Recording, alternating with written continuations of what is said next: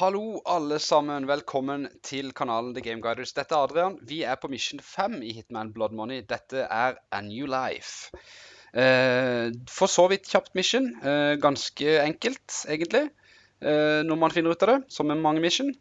Det første vi gjør, er å eh, løpe hen til hekken her og vente litt på en vakt.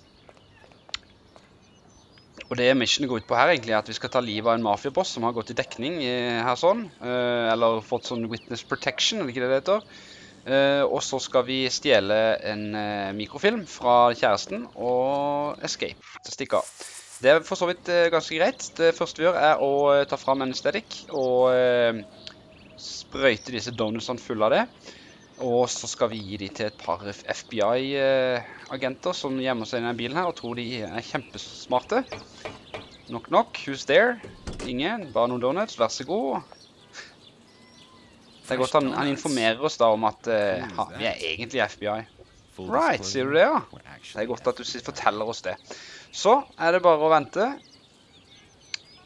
Så vil du se at de uh, spiser donutsene fulle av bedøvelsesmiddel, eller hva enn vi har hevet i de. Og eh, vil da kollapse.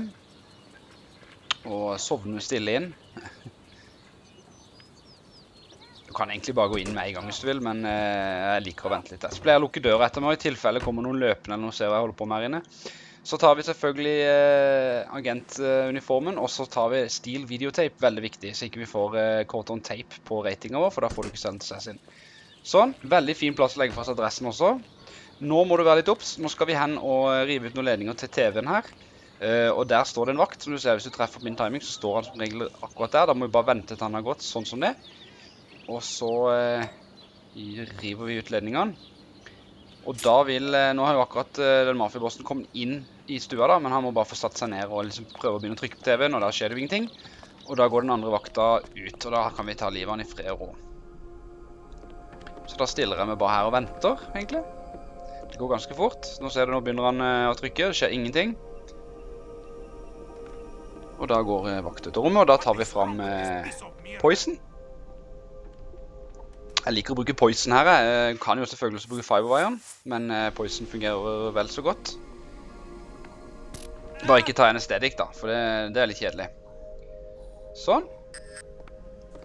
Og så tar vi den Bull 480 da, den har vi ikke fra før, og så skal vi hjemme i kroppen. Og du har eh, cirka, jeg vet ikke hvor lang tid du har, cirka et minutt før han, eh, den vakta er tilbake, så du må være litt kjapp. Og det er litt kronglete å få han inn den døra her, som du ser døra går utover. Så du må liksom åpne og så lirke han inn sånn som det. Og det kan være smart å snu kameraet den veien når du drar, så ikke du mister eh, kroppen. Og nå var jeg heldig da, for nå fikk jeg dra den inn på ett forsøk. Men noen ganger må du gå liksom og så hente beina og så liksom få heve den ordentlig inn i rommet. Ellers så kan, folk igjen døra, og så kommer vakta og så ser han det, og så er det kjipt.